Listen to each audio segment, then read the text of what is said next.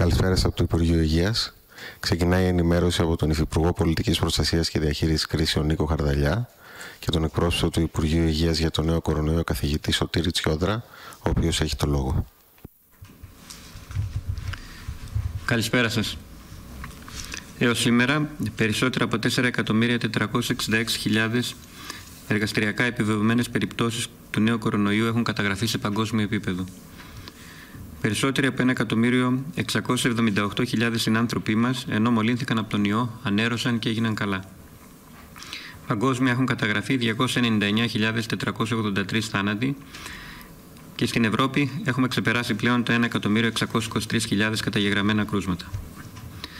Σήμερα ανακοινώνουμε 10 νέα κρούσματα του νέου ιού στη χώρα μας. Ο συνολικός αριθμός των κρουσμάτων είναι 2.770. Το 55,3% αφορά άνδρες. 610, δηλαδή το 22%, θεωρούνται σχετιζόμενα με ταξίδια από το εξωτερικό. 1409, το 51% είναι σχετιζόμενα με ήδη γνωστό κρούσμα. 24 συμπολίτες μας νοσηλεύονται διασωληνωμένοι. Η διάμεση ηλικία τους είναι 71 έτη.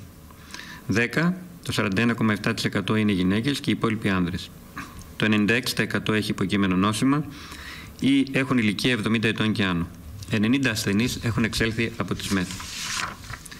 Τέλος, έχουμε έναν ακόμα καταγεγραμμένο θάνατο και 156 θανάτους συνολικά στη χώρα. 41 ήταν γυναίκες, το 26,3% και οι υπόλοιποι άνδρες. Η διάμεση ηλικία των θανόντων συμπολιτών μας ήταν τα 75 έτη και το 93,6% είχε κάποιο υποκείμενο νόσημα ή και ηλικία 70 ετών και άνω. Συνολικά έχουν ελεγχθεί έως σήμερα 116.233 κλινικά δείγματα. Σχετικά με ανακοινώσεις από αξιωματούχους του Παγκόσμιου Οργανισμού Υγείας πως ο ιός μπορεί να μην φύγει ποτέ από τη ζωή μας, θα ήθελα να τοποθετηθώ. Όταν ένας ιός όπως αυτός εμφανίζεται για πρώτη φορά στην ανθρωπότητα και δεν υπάρχει γενικά ανοσία στον πληθυσμό, ούτε αποτελεσματικό προς το παρόν εμβόλιο, είναι πολύ δύσκολο να προβλέψεις για πόσο καιρό θα κυκλοφορεί ο ιός. Ακόμα μαθαίνουμε για την πλήρη κλινική το πλήρες κλινικό εύρος των εκδηλώσεών του πέραν της τυπικής πνευμονίας, δηλαδή καρδιακές επιπλοκές, νεφρολογικές επιπλοκές, θρομβώσεις, νευρολογικές εκδηλώσεις, πολύ σπάνια σοβαρά φλεγμονώδεις αντιδράσεις του ανασωπητικού που εμφανίζονται ευτυχώς εξαιρετικά σπάνια και όταν υπάρχει εκτός ελέγχου κυκλοφορία, ακόμα και σε παιδιά. Άρα εξακολουθεί να υπάρχει ανάγκη σε παγκόσμιο επίπεδο να τον περιορίσουμε, να τον αντιμετωπίσουμε. Το ότι η Ελλάδα περιόρισε την κυκλοφορία του ιού Πως όλοι μαζί δεν τον αφήσαμε να κάνει τη δικιά του ανεξέλεγκτη διαδρομή δεν σημαίνει πως τον εξαφανίσαμε. Ο ιός θα συνεχίσει να κυκλοφορεί, ίσως ακόμη και μετά την ανακάλυψη ενός επιτυχημένου εμβολίου, όπως παραδείγματος χάρη κάνουν οι ιοί της γρήπης. Για την Λαρά έχουμε επιτυχημένα εμβόλια και όμως δεν έχει εξαφανιστεί ακόμα εντελώς και λόγω της δυσπιστίας, λόγω των fake news για τα εμβόλια.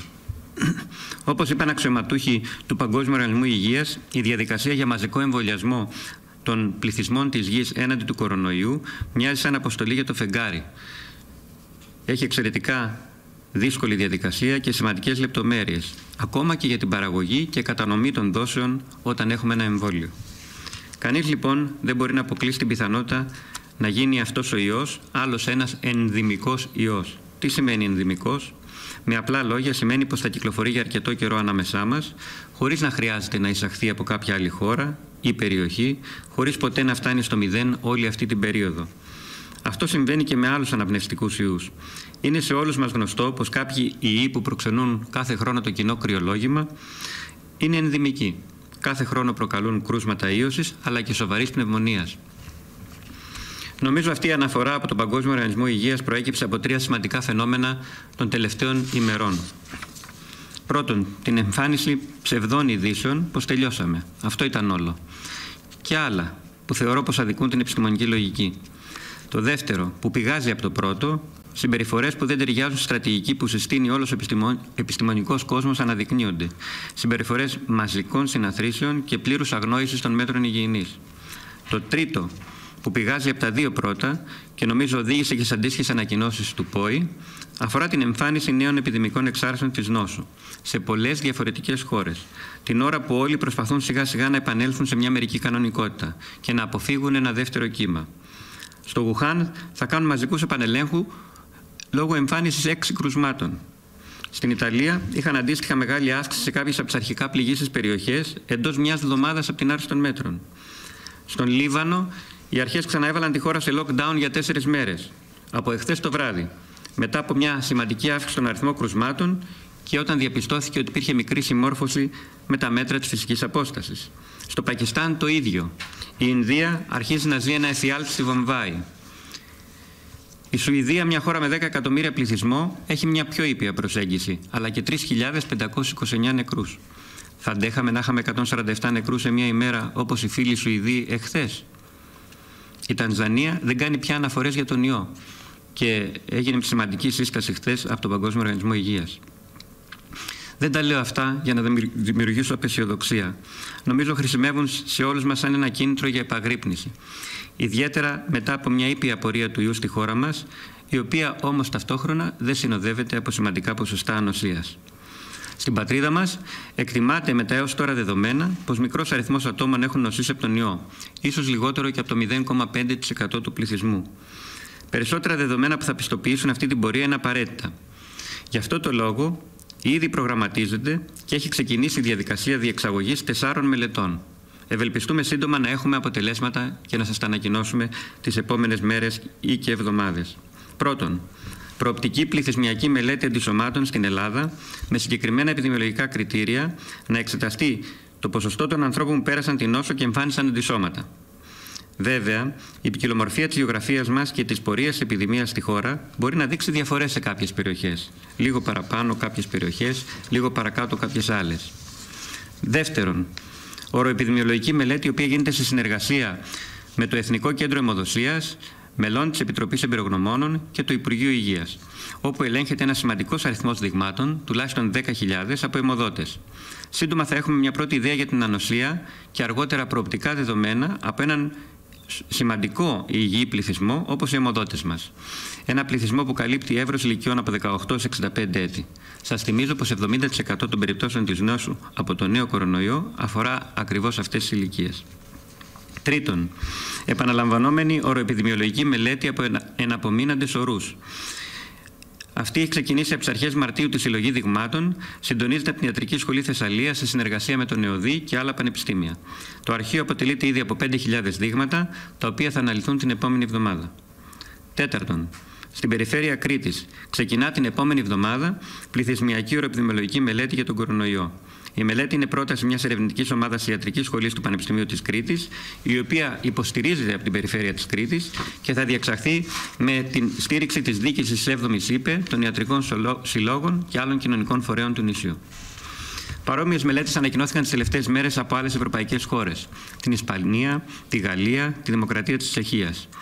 Οι μελέτες της Ισπανίας μιλούν ακριβώς όπως αυτό που θα προβλέπω πριν από λίγο για την Ελλάδα, για διαφορετική πορεία σε κάποιες περιοχές σε σχέση με άλλες. Η Μαδρίτη, για παράδειγμα, έχει 11%, τα Κανάρια νησιά 2%. Στη μελέτη της Ισπανίας διαπιστώθηκε υποδιάγνωση της νόσου κατά 10 φορές. Αλλά δυστυχώς ακόμη χαμηλά επίπεδα ανοσίας, γύρω στο 5%. Και υπολογίστηκε ένας κίνδυνος θανάτου γύρω στο 1 με 1,2%. Πολύ παραπάνω από τη γρήπη και υψηλότερο από αυτόν που έως τώρα υπολογίζεται να είναι. Χαρακτηριστικό της ισπανική μελέτης ήταν πως τα παιδιά ενός ως 4 ετών 2,2% μόνο ήταν θετικό, ενώ στα παιδιά ηλικίας 5 ως 9 ετών μόλις το 3%.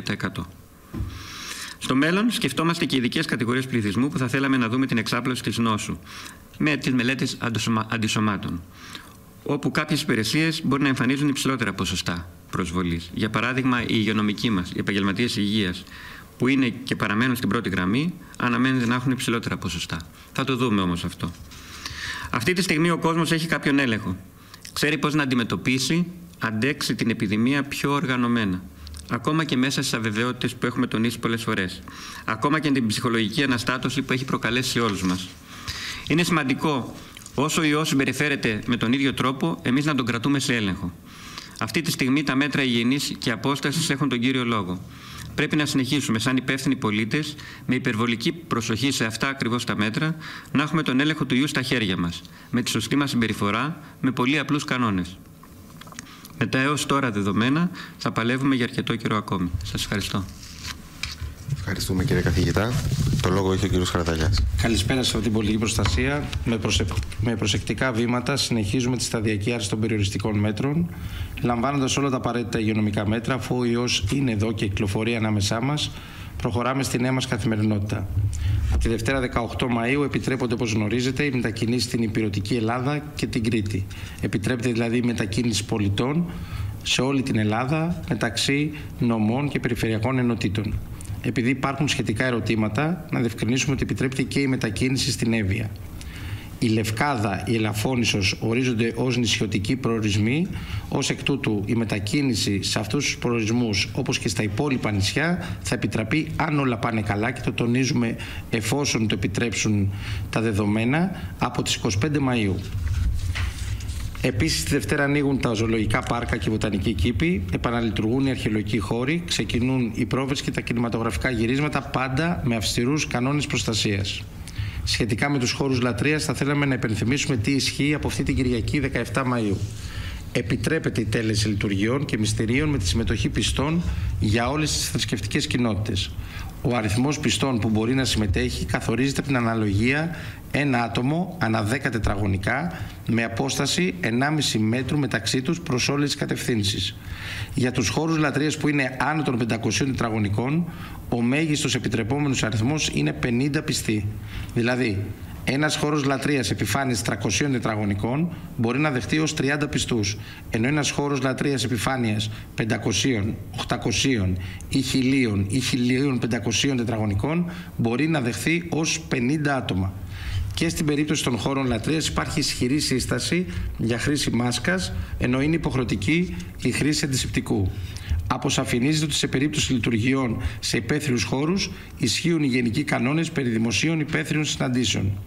Οι παραπάνω κανόνες αφορούν στην προστασία της δημόσιας υγείας, ισχύουν για τους χώρους λατρείας όλων των θρησκειών και όλων των δογμάτων. Επίσης, από αυτό το Σάββατο, 16 Μαου, με βάση μετεωρολογικές προβλέψεις, τα επιδημιολογικά δεδομένα, αλλά και την εισήγηση της αρμόδιας Επιτροπής των Λοιμοξιολόγων, αποφασίστηκε να ανοίξουν οι 515 οργανωμένες παραλίες που υπάρχουν σε όλη τη χώρα. Η λειτουργία των οργανωμένων παραλίων, οι οποίες ανοίγουν στις 8 το πρωί του Σαββάτου, υπόκειται σε λεπτομερείς κανόνες και όρους. Πιο συγκεκριμένα, σε ελεγχόμενες ως προς την είσοδο οργανωμένες παραλίες, ο μέγιστος αριθμός λουόμενων είναι τα 40 άτομα ανά χίλια τετραγωνικά, ανά στρέμμα, και είναι υποχρεωτική η καταγραφή του αριθμού των παρευρισκομένων. Όσον αφορά στην απόσταση ανάμεσα στις ομπρέλες, η ελάχιστη απόσταση μεταξύ των αξώνων των ομπρελών ορίζονται στα 4 μέτρα, ενώ ορίζεται και η ελάχιστη απόσταση ενός μέτρου μεταξύ της περιμέτρου του σκιάστρου των δύο ομπρελών.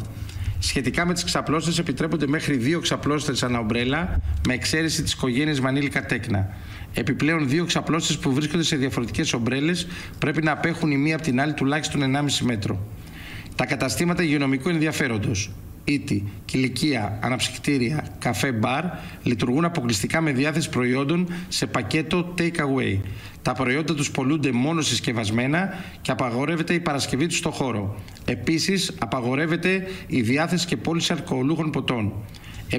Επιπλέον δεν επιτρέπεται η ανάπτυξη τραπεζοκαθισμάτων στο χώρο λειτουργίας του καταστήματος.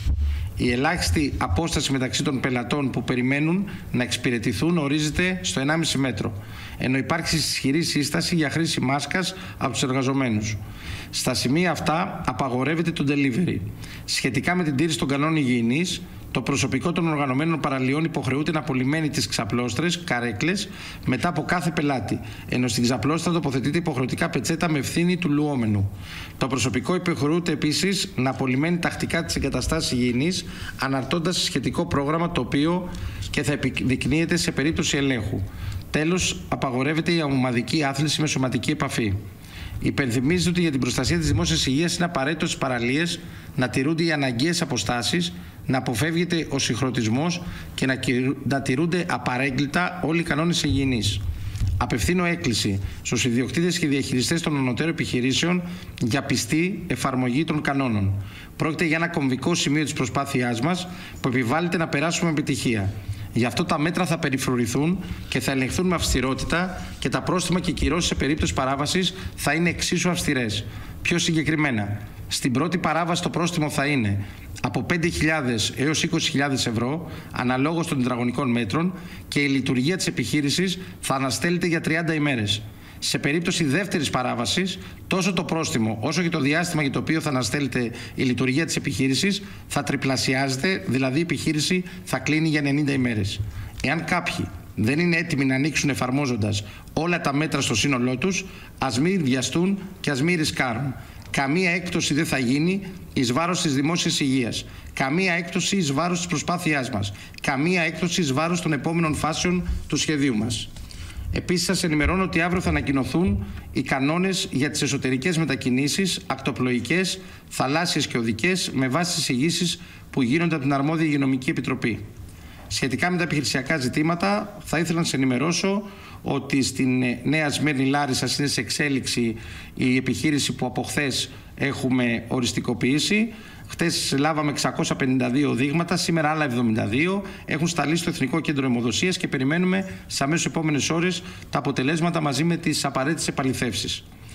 Τέλος, στη Λέσβο ε, και σε συνέχεια του επιχειρησιακού σχεδίου που αφορά στην ιχνηλάτηση μετά τα δύο κρούσματα, σας ενημερώνω ότι έχουν ληφθεί περίπου 81 δείγματα, των οποίων τα αποτελέσματα ε, περιμένουμε από ώρα σε ώρα. Αγαπητοί μου συμπολίτες, κυρίες και κύριοι, η άρση των μέτρων είναι όπως συχνά αναφέρουμε η πιο δύσκολη φάση της προσπάθειάς μας. Γιατί η νέα μας καθημερινότητα διαφέρει από αυτή που γνωρίζαμε. Και αυτό γίνεται όλο και πιο εμφανές ημέρα με την ημέρα, εβδομάδα με την εβδομάδα. Και όσο κάποιες φορές αυτή η νέα καθημερινότητα μας κάνει να δυσανασχετούμε, είναι αυτή που διασφαλίζει ότι θα παραμείνουμε υγιείς, ότι θα ολοκληρώσουμε το σχέδιο άρσης των μέτρων χωρίς απρόπτα, ότι θα συνεχίσουμε και σε αυτό το στάδιο να αποδεικνύουμε ότι από τις δυσκολίες βγαίνουμε πάντα πιο δυνατοί. Μένουμε ασφαλείς, βγαίνουμε νικητές, παραμένουμε προσεκτικοί. Σας ευχαριστώ. Ευχαριστούμε κύριε Υπουργέ. Να περάσουμε σε ερωτήσεις. Η κυρία Κροντήρη από τον τηλεοπτικό σταθμό Sky. Κύριε Τσιόδρα και κύριε Χαρδαλιά, κρίνεται απαραίτητο να κάνουν τεστ όσοι τουρίστες έρχονται στην Ελλάδα; Θα μας κάλυπτε κάτι τέτοιο υγειονομικά; Συστήνεται φέτος σε ηλικιωμένους και ευπαθείς ομάδες να πάνε διακοπές εντός της χώρας; Οι υγειονομικές δομές των νησιών έχουν επαρκείς υποδομές για την περίθαλψη ασθενών COVID; Να πω ε, με την άδειά σας, κύριε καθηγητά, ε, έχει ξεκινήσει μια μεγάλη συζήτηση για ένα τεράστιο κεφάλαιο της χώρας που αφορά στον τουρισμό. Νομίζω ότι οποιασδήποτε πρόορες συζητήσεις δεν βοηθούν την εξέλιξη όλου του σχεδίου μας. Αυτή τη στιγμή Βεβαίως και υπάρχουν συζητήσεις, βεβαίως περιμένουμε τις απόψεις των λοιμοξιολόγων, βεβαίως εξετάζουμε κάθε πρωτόκολλο ξεχωριστό, όμως δεν είναι ώρα βιασύνης. Αυτό που είναι πολύ σημαντικό είναι ότι όλα θα γίνουν, αλλά θα γίνουν όπως πρέπει και την ώρα που πρέπει. Νομίζω είδατε εχθές ε, αυτό το, το ερώτημα που απασχολεί όλους, απασχολεί και τις ευρωπαϊκές αρχές ε, ιδιαίτερα για χώρες οι οποίες η οικονομία τους εξαρτάται από τον τουρισμό και προσπαθούν να βρουν κάποια κοινά σημεία συνένεσης. Ακόμα νομίζω δεν τα έχουν βρει και ούτε έχουν βγει κάποιες οδηγίες. Πιθανώς να δούμε τις επόμενες μέρες να επιτρέπονται κάποιες χερσαίες διαβάσεις από χώρα σε χώρα, ιδιαίτερα όμορες χώρες. Νομίζω το βασικότερο απ' όλα είναι η τήρηση, αυτό που λέμε, των μέτρων υγιεινής επαγρύπνησης για την υγεία μας μπροστά σε έναν άγνωστο και σοπηλό και ύπουλο εχθρό που μπορεί να τον ελέγξει, ας πούμε, μία ή δύο μέρες πριν ταξιδέψει, αλλά να τον εποάζει και τον εμφανίσει ακριβώς την ώρα που ταξιδεύεις. Καταλαβαίνετε λοιπόν ότι οποιαδήποτε συζήτηση για εργαστριακό έλεγχο είναι λίγο δύσκολη και είναι πάρα πολύ δύσκολο να μπουν και σαφή κριτήρια. Αυτό που με σιγουριά ξέρουμε είναι ότι όταν έχεις συμπτώματα και κάνεις τον έλεγχο, θα βρεις τον ιό και καμιά φορά στις επαφές θα τον βρίσκει ανθρώπους που δεν έχουν συμπτώματα ή δεν έχουν εμφανίσει ακόμα συμπτώματα. Άρα αρχίζει και συζητείται όλο και περισσότερο, ιδιαίτερα για το χώρο των διεθνών ταξιδιών, η υποχρεωτική χρήση μάσκας. Από την άλλη μεριά, και μάλιστα σε κάποιες αμερικανικές αεροπορικές εταιρείες έχει γίνει ήδη αυτό ε, και έχει συσταθεί για τον εσωτερικό του τουρισμό. Ξέρετε, στην Αμερική για να φτάσεις από τη μία άκρη της Αμερικής στην άλλη θέλεις πέντε ώρες. Ε, είναι ένα πρόβλημα ε, και μπορεί να δημιουργήσει και ανεξέλεγκτες καταστάσεις. Θέλει πολύ προσοχή κατά τη γνώμη μου. Ε, θα πρέπει να γίνει με ειδικούς κανόνες, θα πρέπει να γίνει με ειδικές προβλέψεις. Στην πατρίδα μας θεωρητικά θα αρχίσει από τον εσωτερικό τουρισμό πρώτα και μετά θα πάει σε οποιαδήποτε άλλη σκέψη για άνοιγμα εξωτερικό και θα παρακολουθούμε και τις ευρωπαϊκές εξελίξεις. Θέλει προσοχή. Οι περισσότερες χώρες ακόμα δεν έχουν ανοίξει τα σύνορά τους για τουρισμό μέσω αερο, αεροπορικών εταιριών. Ε, θα προχωρήσουμε πάρα, πάρα πολύ σταδιακά και πάρα, πάρα πολύ προσεκτικά. Όσον αφορά το θέμα των ευπαθών ομάδων, για να αυτές επιτρέπεται να κάνουν εσωτερικό τουρισμό, ε, ένα, ένας από τους λόγους που ανοίγουν και οι εσωτερικές ε, συγκοινωνίες και η, η, κατά το δυνατόν ε, ένα μακρύτερο ταξίδι είναι και αυτός ακριβώς κάποιοι άνθρωποι ηλικιωμένοι που είχαν αποκλειστεί ε, στα μεγάλα κέντρα που είχαμε και μεγαλύτερη κυκλοφορία του ιού να απελευθερωθούν κάπως, να πάνε στα εξοχικά τους, να πάνε στο χωριό τους, να ε, ζήσουν λιγάκι πιο ελεύθερα, να περπατήσουν έξω. Αλλά αυτό δεν καταργεί την προσοχή μας στους κανόνες υγιεινής. Αυτό νομίζω μπορώ να το πω προς το παρόν, αλλά όχι κάτι περισσότερο. Η κυρία Σουλάκη από το ιατροπίδια.gr και το Newsit. Κύριε Κοντοζαμάνη και κύριε Τσιόδρα, Εν ώψη του επερχόμενου καύσωνα αλλά και του καλοκαιριού, τι πρόβλεψη υπάρχει για τη λειτουργία των κλιματιστικών μονάδων σε δομές και νοσοκομεία και πιο συγκεκριμένα στις μονάδες εντατική θεραπείας και τις μονάδες COVID; Σύμφωνα με τις πληροφορίες μας, συγκεκριμένα κλιματιστικά μηχανήματα σε νοσοκομεία αναφοράς, όπως είναι το NIMITS, δεν έχουν δυνατότητα λόγω κεντρικού συστήματος ψήξης θέρμανσης να λειτουργήσουν, λόγω πιθανού κινδύνου διασποράς του κορονοϊού. Το προηγούμενο διάστημα οι διοικήσεις με απόφασή τους τα είχαν κλειστά. Τώρα όμως με τη ζέστη αυτό ενδεχομένως θα είναι αδύνατον. Να σημειωθεί δε ότι η μεθ κορονοϊού του Νίμιτς νοσηλεύει πολύ ευαίσθητους ασθενείς όπως είναι οι νεφροπαθείς. Ενώ μεγάλο πρόβλημα θα αντιμετωπίσει και το προσωπικό που φορά τις στολές προστασίας. Να πω δύο λόγια και μετά, αν θέλει ο Υπουργός να τοποθετηθεί, ε, να πει κάτι παραπάνω. Ε, είναι σημαντικό το θέμα των κλιματιστικών, ιδιαίτερα σε μια χώρα η οποία ασφικτιά από τον καλοκαιρινό καύσωνα και ακούω και διαβάζω σε μελέτες από περιβαλλοντολόγους ότι πιθανώς τα καλοκαίρια από εδώ και πέρα να είναι ακόμα πιο ε, ευαίσθητα στην ηλιακή, στην ηλιακή ακτινοβολία και μάλιστα και το lockdown, το απαγορευτικό, επηρέασε με κάποιο τρόπο την ε, προσέγγιση των ακτίνων του ηλίου, η οποία γίνεται αυτή τη στιγμή πιο ελεύθερα στην ατμόσφαιρα της Γης ε, και θα οδηγήσει σε κάποια άνοδο των θερμοκρασιών. Ήδη θα δούμε θερμοκρασίες ρεκόρ από ό,τι διαβάζω ε, το επόμενο Σαββατοκύριακο. Άρα είναι πολύ σημαντικό το θέμα του κλιματισμού και είναι και πολύ λεπτό. Είναι αυτές οι λεπτομέρειες που είπα προηγουμένως στο δελτίο.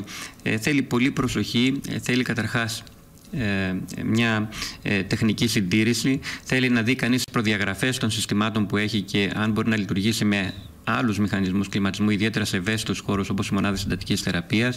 Ε, ε, προωθείται η συνεχής και 24ωρη χρήση των μονάδων ε, σύμφωνα με οδηγίες που έχει εκδώσει το Υπουργείο Υγείας Αναλυτικές και είναι στην ιστοσελίδα του, προωθείται ε, ε, η συντήρηση από ειδικά, ειδικό προσωπικό με χρήση μέτρων προστασίας και ατομική μάσκα, ε, γιατί μπορεί να ε, υπάρχουν από κάποιους θετικούς ασθενείς από μινάρια του ιού ε, και ακόμα και συσκευές του κλιματιστικού. Προωθείται η χρήση του εξωτερικού αέρα, του φρέσκου αέρα και όχι η ανακύκλωση του αέρα και φυσικά σε ιδιαίτερους χώρους όπως αυτές θα πρέπει να ληφθούν και άλλα απαραίτητα μέτρα. Ε, πιθανώς και να συνεχίσουμε με κάποια άλλα νέα συστήματα ψήξης. Δόξα τω Θεώ, έχουμε αυτή τη στιγμή 25 κρούσματα σε μονάδες. Αυτό σημαίνει ότι μπορούμε να αποφύγουμε την πίεση κάποιων μονάδων εντατικής θεραπείας που αντιμετωπίζουν τέτοια τεχνικά προβλήματα πάντα σε συνόηση με τις υπηρεσίες του Υπουργείου. Και αυτό οφείλεται στην επιτυχημένη μας πορεία.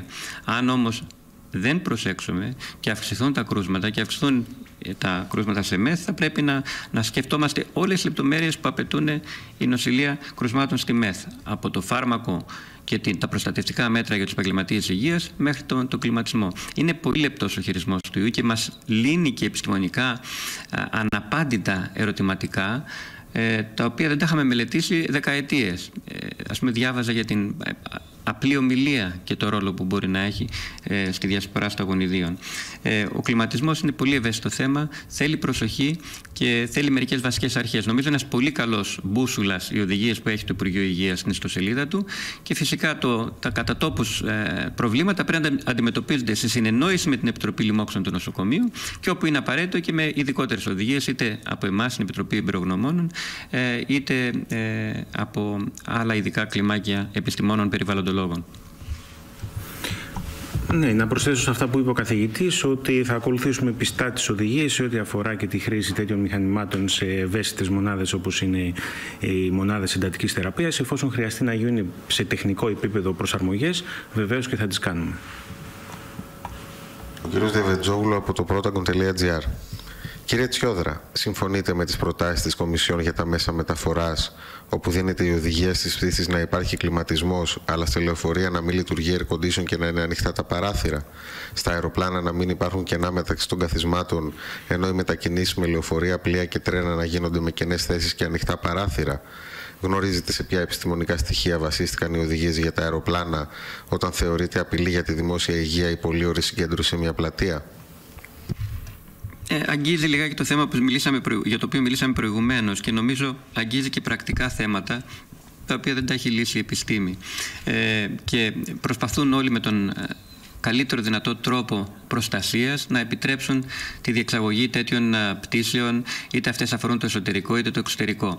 Ε, είμαι σίγουρος ότι θα προβλεφθεί στην όλη διαδικασία και ένα, ένας ε, κατά κάποιο τρόπο σωστός τρόπος λειτουργίας των κλιματισμών και φυσικά και θα ευνοείται όπου μπορεί να γίνεται η αρέωση των καθισμάτων όπως τα μέσα μαζικής μεταφοράς ή τα μέσα που αφορούν πλοία, λεωφορεία γιατί εκεί είναι εφικτό ενώ τα αεροπλάνα δεν μπορούν να λειτουργήσουν χωρίς να έχουν πληρότητα ικανή και δεν συμφέρει και να λειτουργήσουν. Ε, μάλιστα μου λέει κάποιος ε, ε, φίλος ένα τηλέφωνο που είχα μαζί του τις προάλλες είχε περάσει μπροστά από το, από το αεροδρόμιο λέει και ήταν τραγωδία να βλέπεις όλα τα αεροπλάνα παρκαρισμένα και να μην κινούνται και πόσο ε, οικονομικά δυσβάστακτο είναι αυτό ε, για ένα, ένα τέτοιο τεράστιο χώρο της οικονομίας. Εγώ λέω ότι χρειάζεται προσοχή και μια ισορροπία μεταξύ δημόσιας υγείας και οικονομίας. Δεν είναι αντίπαλη. Ε, η δημόσια υγεία υπερέχει αυτή τη στιγμή και είναι στην πρώτη γραμμή. Η οικονομία ακολουθεί με τα μέτρα που υποδεικνύει η δημόσια υγεία. Και νομίζω αυτό θα γίνει. Ε, είναι όντως αντίφαση. Έχει δίκιο ο αγαπητός δημοσιογράφος. Αλλά είναι το καλύτερο δυνατό που μπορεί να κάνεις αναπερίπτωση. Απαντώ εγώ, ακόμα και αν ας μην είναι επιστημονικά τεκμηριωμένο.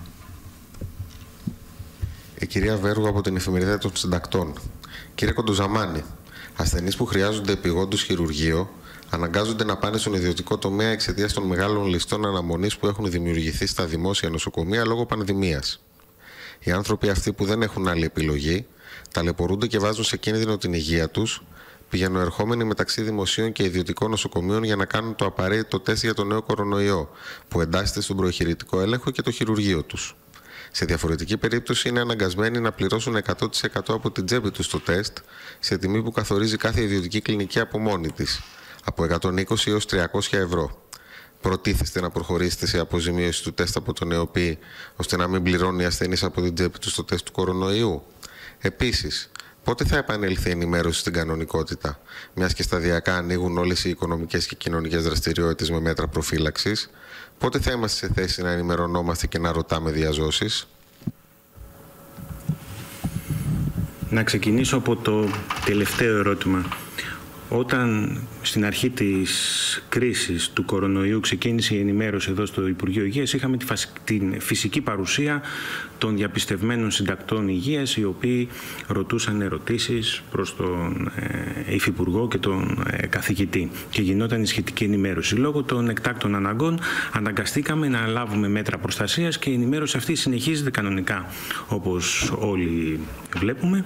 Και ε, τα ερωτήματα τίθενται ε, περιοδικά από όλους τους διαπιστευμένους ε, συντάκτες υγείας και χωρίς κανέναν περιορισμό και απατώνται στην, στην ενημέρωση την οποία έχουμε. Επομένως, καταρχήν να πω ότι δεν υπήρχε κανένα πρόβλημα σε ό,τι αφορά τις ερωτήσεις που ετίθεντο ε, κατά τη διάρκεια αυτής της περίοδου.